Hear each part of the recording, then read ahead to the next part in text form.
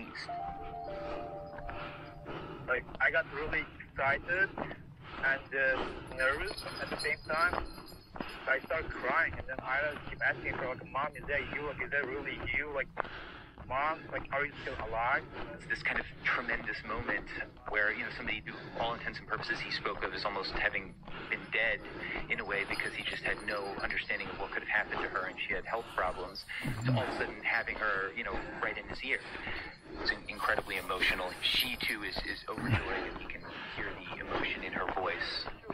She just said, like, for cat, like, is this you? Like, is this you? Like, my son. I said, yes, mom, it's me. Like, is it, is it really you? Like, mom, how are you? How are you doing? But pretty quickly, he told me he realized There's something was off something was a little bit off. because she said, son, I have been like well taken care of. I went to like a really good school, like it's, everything is like brand new. I learned Mandarin Chinese, our national language, our country like mother language, and then I learned some Chinese laws as well. Hey, Brittany. I was well taken Hi. But Hold on. like I Hi. Can you hear me? Uh, can you hear me? Uh, hi. Hi. Hi.